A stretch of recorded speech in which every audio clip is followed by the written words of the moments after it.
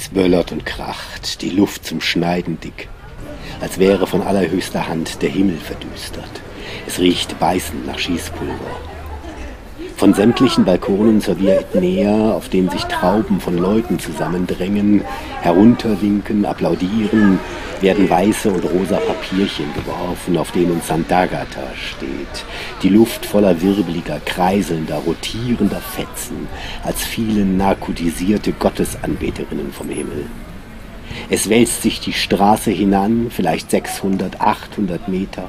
Dann schleppt man die Götzin und ihre Reliquientruhe die Stufen einer Kirche hinauf, vor deren Pforte der Altar und auf Stativen zwei Lautsprecher errichtet sind.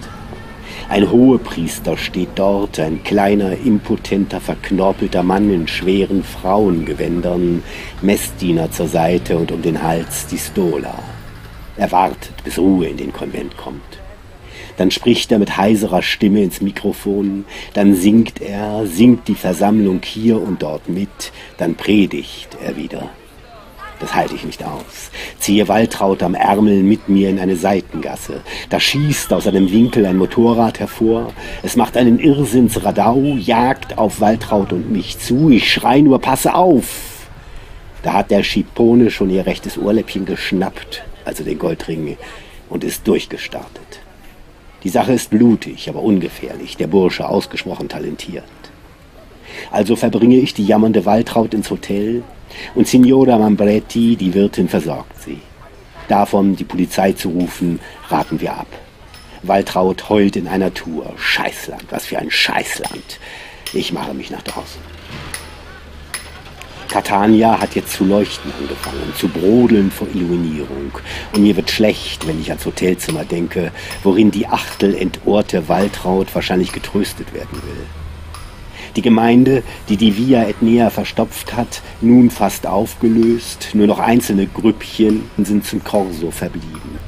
Eine unfassbare Ansammlung von Schmutz und Papierschnitzeln und Plastiktüten bedeckt Fahrbahn und Bürgersteige. Schon fahren Müllautos auf, und während die schweren Eisengitter vor den Geschäften herabrattern und der Abend sich in die Straße drückt und zum Corso lockt, wird emsig gefegt und das Gefegte verladen. Ich habe aus lauter Lebenswut so viel Granite gegessen, dass ich ganz heiser bin von den zu einem weichen Mus vermahlenen, gefrorenen Fruchtsaftspänen. Sieben oder acht, fast schon ein halbes Tagessalär für Nahrungsmittel ist draufgegangen dabei. Ich spaziere die einige Meter breite Treppe der Via Clementi hinauf. Dort, nahe Santa Lucia, steht in deutscher Sprache an eine Mauer gesprayt Nazis raus. Nach rechts hinüber Richtung Corso Sicilia hinab zum antiken Amphitheater.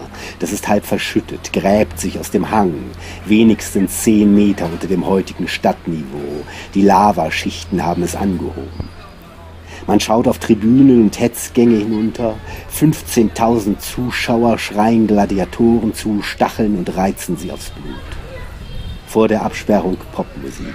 Zur Via Etnea ein Terrassencafé, weiße Stühle, weiße Tische, Kellnerinnen eilen flink von einem zum anderen, ein Podest wird befestigt. Synthesizer, jemand probt, es riecht nach Knoblauch, nach Süße, nach in Öl gesottenem Gebäck. Drüben Marmorn, Vincenzo Bellini, Eissalons, kleine Stände. Rechts hinten neben dem Pornokino werden Seeigel verkauft, aufgebrochen und ausgelutscht.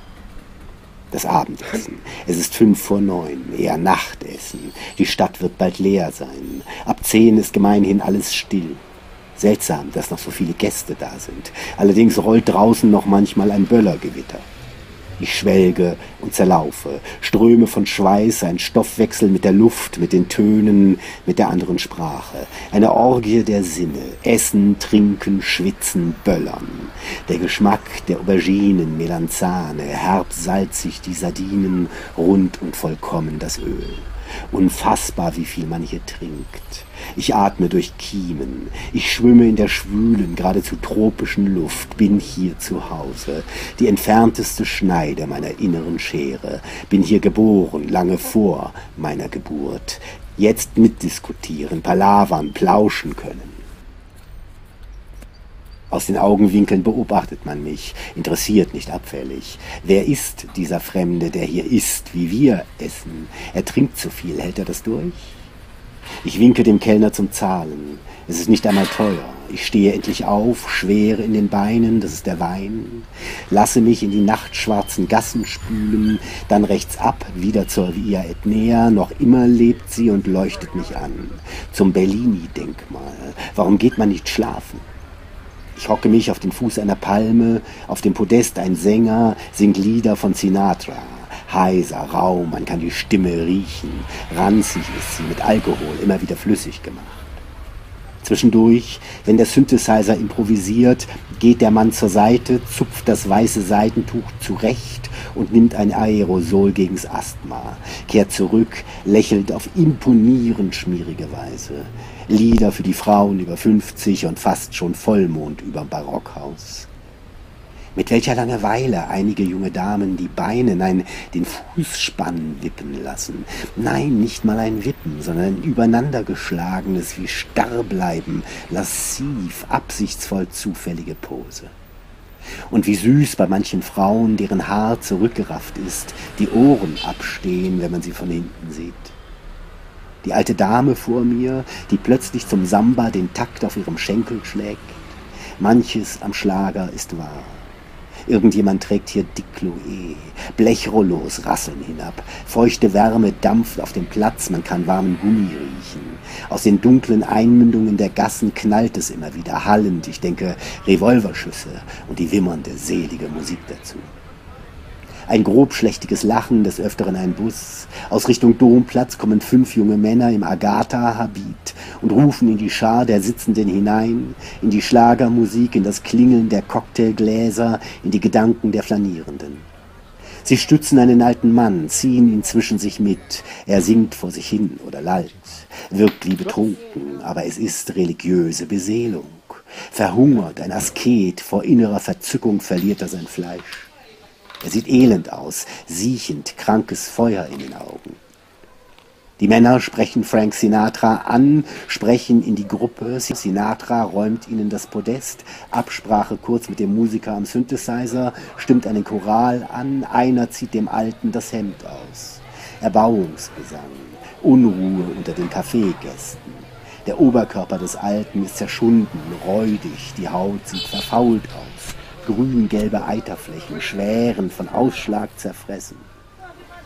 Einige Leute stehen auf, rücken im Halbkreis ins Podest. Es werden immer mehr. Ich kann kaum mehr etwas erkennen, erhebe mich ebenfalls, drücke mich in die Menge.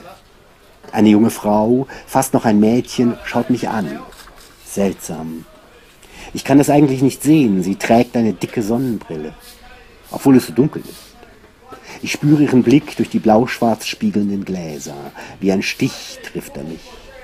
Ich schaue flüchtig zurück, halte den Blick nicht, senke die Lider, schaue wieder zum Alten. Ekelhaft, was geschieht. Ein widerwärtiger Schwindel, religiöse Gaukelei. Einer zieht ihm mit einer Pinzette zuckende Maden aus den Exemen. Ich schlucke, er schreit vor Lust. Drei junge Männer beten, der fünfte geht für die Kollekte herum.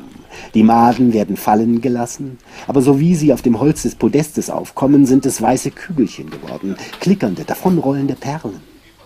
Man klaubt einige von ihnen auf, setzt sie dem Alten an die Haut, sie winden sich, fressen sich wieder hinein. Es ist ganz entsetzlich. Der Alte schreit vor Verzücken, lässt sich die Kügelchen auf die herausgestreckte Zunge legen. Die Gläubigen beten, in der Menge bekreuzigt man sich, einige stimmen sogar in den Choral. Abermals Blickschuss des Mädchens. Keine 17, keine 16 Jahre ist es alt. Ich wende mich ab. Ich kann hier nicht bleiben. Die Vorstellung hat mich wütend gemacht. Das Mädchen muss mir gefolgt sein. Es berührt mich am Arm. Ich drehe mich um. Sie schaut mich immer noch durch die Sonnenbrille an. Über ihrer hohen, erregbaren Stirn glänzt auf dem Scheitel der Mond.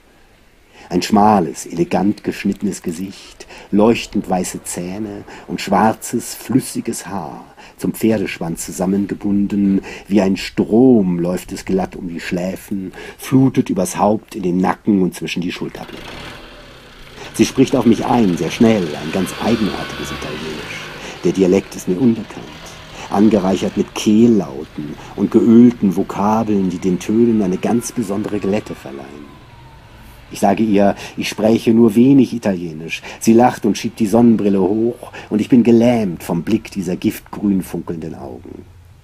Wieder spricht sie zu mir. Sie ist kaum kleiner als ich. Vielleicht habe ich deshalb das Gefühl, zu ihr aufschauen zu müssen. Sie sagt irgendetwas über die schauderhaften Asketen. Die lange, schmale Hand schwingt elegant hinüber. Sie sagt Abfälliges, glaube ich, ist angewidert davon und hat wohl gemerkt, wie sehr auch ich es bin.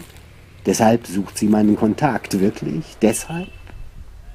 Jetzt nimmt sie mich am Arm, zieht mich ein Stückchen die Via Etnea hinauf. Ich folge wie in Trance, es ist verrückt. Eine Jägerin, denke ich. Ich bin ihr ausgeliefert, weil sie sich in den Hüften wiegt. Sie haben etwas Schlängelndes, seltsam. Unter dem kurzen Kleid die Oberschenkelmuskulatur, bronzen leuchtet ihr Spiel unter Mond und Strahlern, von denen die Straße funkelt wie lichtes Geschmeide, Metallglanz auf den ausgeprägten Waden. Sie läuft fast nur auf den Ballen, nie setzt sie die Hacken auf. Mit einem Mal ist es nach Mitternacht, das verstehe ich nicht. Wir sind nur die paar hundert Meter bis zur Villa Bellini, dem Traumpark, hinaufgeschlendert. Das braucht keine zehn Minuten, aber zweieinhalb Stunden im Nu vorbei. Ruhe um uns, die Strahler ausgeglüht, eine Dunkelheit gleich feuchtem Samt. Während der ganzen Nacht röhren die frisierten Mopeds durch die Gassen und immer wieder knallen Feuerwerkskörper. Sie gehen zur Tarnung nur, zur Ablenkung hoch, denke ich als ich neben dem hohen, schmiedeeisernen Gitter durch eine Öffnung in den Park gezogen werde. Der Brunnen ist weich angeleuchtet, wie vom Glimmer berieselt, die Enten und Schwäne schlafen, schwarzen Schütten von Erde gleich, rings um den wulstigen Rand. Man kann die Blumenuhr nicht mehr sehen, nicht die Notenschlüssel aus Blüten, die die Hänge der Rasen verzieren, nicht oben den maurischen gläsernen Pavillon und von dort nicht wie sonst den dampfenden Ätna. Stumm warten wir durch die Pflanzengerüche, wuchernde Strelizien und aufgeschossene Palmen recken sich in den Schatten. Meine Linke in ihrer Rechten. Sie plaudert, ich schweige, ihr Redefluss nichts als Geplätscher. Sie ist viel zu jung für mich. Was will sie von mir? Ich frage sie das. Sie tut, als hätte sie es nicht gehört. Ich frage, wie sie heiße. Sie plappert von etwas anderem. Man kann die ganze Stadt im Schlaf atmen hören. Meine Armbanduhr spielt völlig verrückt. Die Zeiger drehen wie orientierungslose Kompassnadeln. Bald ist es drei Uhr nachts, dann wieder erst fünf vor zwölf, dann zwei Uhr, alles in wenigen Minuten. Wir steigen den Schütterweg hinab zum Brunnen. Dort nimmt sie meine beiden Hände, zieht sie zu ihren Oberschenkeln hinunter und drückt sich an mich. Durch mein Hemd und ihr dünnes Kleid sind wie Muskeln ihre Hügelbrüste und beider Spitzen zu spüren. Ich suche ihr Ohr mit den Zähnen, sie seufzt, noch immer meine Hände in ihren, führt sie jetzt an meinen Seiten auf meinen Rücken, staucht sie dort im Kreuz und klemmt mich an sich und knurrt, knurrt wie ein Tier. Ich nehme ihren Mund, aber sie presst die Lippen zusammen, dreht den Kopf, ich drücke Oberlippe und Nase auf ihre Halsschlagader, sie legt den Kopf in den Nacken, endlich bekomme ich meine Hände frei.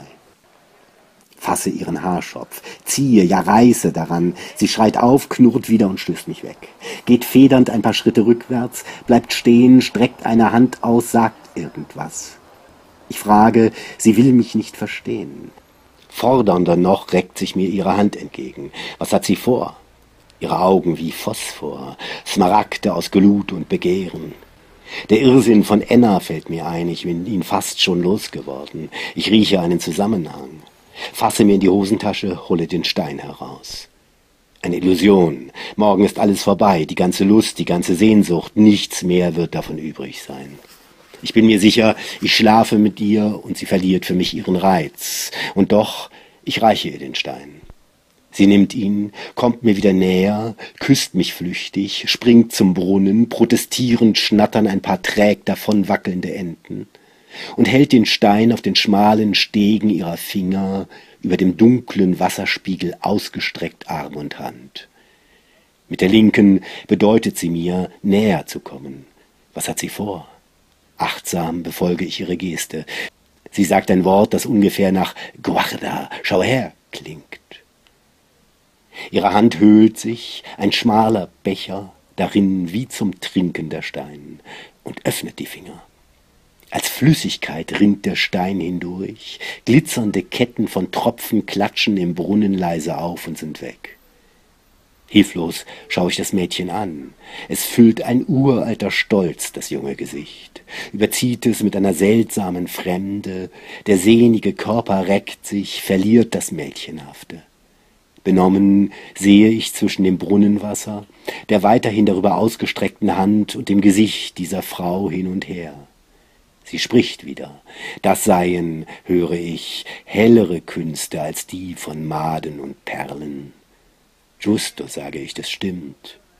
Da lacht sie, schüttelt das Haar, lacht nochmal, fast kindlich. Komm, sagt sie. Nimmt meine Hand, setzt sich an den Brunnenrand, zieht mich zu sich hinunter, spielt im Wasser, lässt die Finger plätschern. Gib mir, sagt sie, auch ich soll nun meine Hand über den Brunnenrand halten. Und tu es. Sie formt sie mit ihren Fingern zur Schale. Lass das so, sagt sie. Warte. Dann schöpft sie aus dem Brunnen Wasser hinein. Es formt sich, wird hart und warm liegt der Stein in meiner Hand. Sie schließt meine Finger darüber und sieht mich an. Ich möchte, dass sie den Trick wiederholt, reiche ihr den Stein abermals. Sie schüttelt den hübschen Kopf. Ich dränge, sie schüttelt heftiger den Kopf, spricht, ich weiß nicht was, nimmt meine Hand, führt sie zu meiner Hosentasche. Ich drücke den Stein hinein. Sie legt eine Hand über die Wölbung, schaut mich an, legt die Hand auf die andere Wölbung. Ich streiche mit Fingerspitzen von ihrer Schläfe über die Muschel des Ohrs zu den Lippen übers Kinn, den Hals, berühre ihre Brust. Das Mädchen hört zu sprechen auf. Es ist, als hielte es den Atem an. Es schließt die Augen. Ich beuge mich vor. Sie wendet abermals den Kopf, schüttelt ihn. Nicht hier. Rückt auf Distanz. Ich überlege. Bei ihr wird es nicht gehen, sie wird zu Hause wohnen. Vielleicht ist sie weggelaufen, aus dem Fenster geklettert. Das Abenteuer einer Halbwüchsigen. Es ist ja bald vier Uhr morgens. Nein, es ist halb drei. Nein, Viertel nach vier. Meine Uhr benimmt sich weiter wie toll. Und bei mir im Hotel liegt Waltraud. Ich kann und will dieses Mädchen sowieso nicht in solche Absteigen führen. Ich krieg das nicht hin, sie bei der Hand nehmen und in der Rezeption eines anderen Hotels nach einer Liebesunterkunft fragen, kann mir das außerdem nicht leisten. Das Mädchen wartet. Es sieht mich jetzt nicht mehr an, schaut in ihren Schoß, in dem die Hände gefaltet sind. Es wartet auf meine Entscheidung, das spüre ich, das weiß ich, und bin auch unfähig, eine zu fällen. So schweigen wir beide, Augenblicke nur, wie auch immer. Jedenfalls steht sie irgendwann auf und geht. Ich will ihr nach. Was aber soll ich ihr sagen? Ihr meine Adresse geben vielleicht? Morgen oder übermorgen ist sie schon anders. Es bleibt nur diese Nacht. Dann niemals wieder. Ich werde das mit dem anderen Zimmer tun. Ja, ich will das tun, es wird auch gelacht. Springe auf. Es sind keine zehn Sekunden vergangen. Ich habe nur ganz kurz nach innen geschaut, aber es ist schon zu spät und das Mädchen verschwunden. Sie kann soweit noch nicht sein. Wo ist sie hin? Die Freitreppe hinab, Straßen menschenleer, man hört auch keine Autos. Nichts. Ich schlucke, einfach weg. In den tausend Gassen zu suchen hat keinen Sinn. Tränen in den Augen. Ich passiere die Pforte, es hupt, ich muss die Augen zusammenkneifen, denn überall strahlen Bogenlampen und tausend Wagen blenden mich. Der Krach des Korsos schlägt mir wie Brandung um die Ohren. Hunderte von Leuten schlendern und diskutieren und flirten. Auf der Piazza Bellini singt immer noch der Sinatra, immer noch schlägt die alte Dame auf ihrem Oberschenkel den Samba-Takt und noch immer wippen elegant übereinandergelegt die Beine von Fogal. Keine Spur mehr religiösen Wahns. Ich schaue auf die Uhr, sie hat sich beruhigt, es ist kaum halb zwölf.